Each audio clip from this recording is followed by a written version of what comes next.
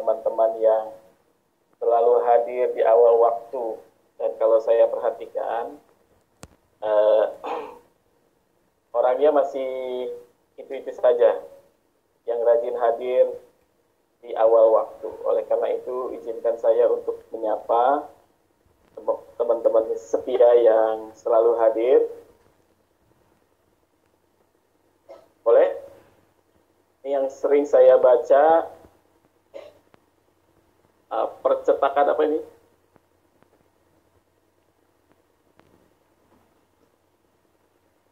Percetakan Murah Surabaya. Ini atas nama siapa ini? Hmm. Boleh saya diskusi hari ini? Ada juga Ibu Rosdiana. Nah, Ibu Rosdiana ini siapa ini? E, serajin apa Bu? Atau ya kalau saya lihat setiap saya buka acara selalu ada Ibu. Boleh Bu suaranya dibuka Bu? E, mic-nya masih off.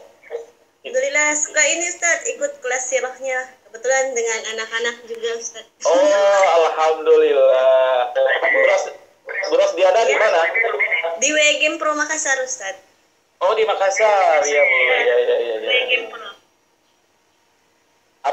Yang didapatkan dari materi-materi Siro selama ini? Apa kesannya? Ya, Masya Allah, senang sekali Ustaz. Karena kebetulan saya juga ini ada kemanakan saya.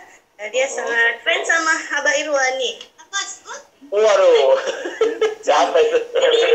Uh, Saya nggak punya materi, Jadi materi-materi Ustaz itu dia catat dan uh, Masya Allah, hmm, dia senang belajar sirah dan ya setiap hari kan mbak ini buku catatan. Alhamdulillah, alhamdulillah. Siapa keponakannya namanya?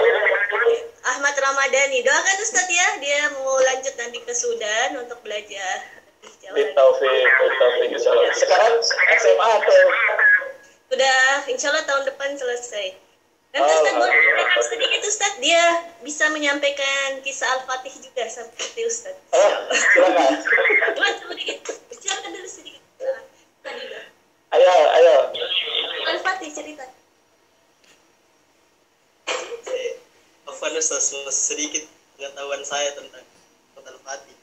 Silakan, silakan. Yang saya tahu itu Ses Al-Fatih kan lahir di Edirne. Ya. Dan, dan ketika itu dia kan pernah naik satu kali